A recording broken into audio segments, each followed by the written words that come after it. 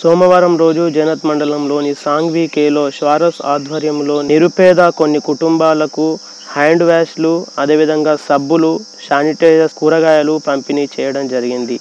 షారోస్ జిల్లా అధ్యక్షుడు పెంటపర్తి ఊషన్న మాట్లాడుతూ కరోనా వైరస్ వ్యాధి నిరోధించేందుకు వ్యక్తిగతంగా చేతులు శుభ్రం కడుక్కోవడం మాస్కులు ధరించడం భౌతిక దూరం పాటించడం గురించి అవగాహన కలిగించడం జరిగింది. ఆదిలాబాద్ జిల్లా షారోస్ మరిన్ని కార్యక్రమాలు నిర్వహించడానికి ముందుగా ఉంటుందని తెలపడం జరిగింది.